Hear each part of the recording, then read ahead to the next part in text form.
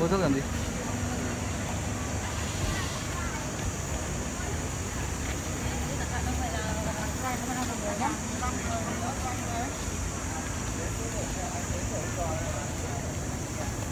Thế thì em em kê kê sang cạnh được cho em. Anh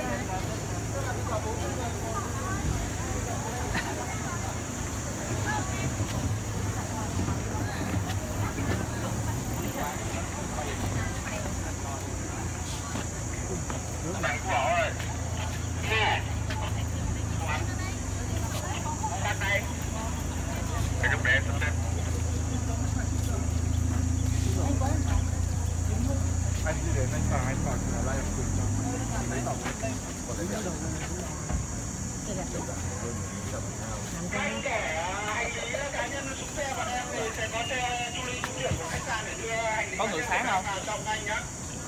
Không được rồi.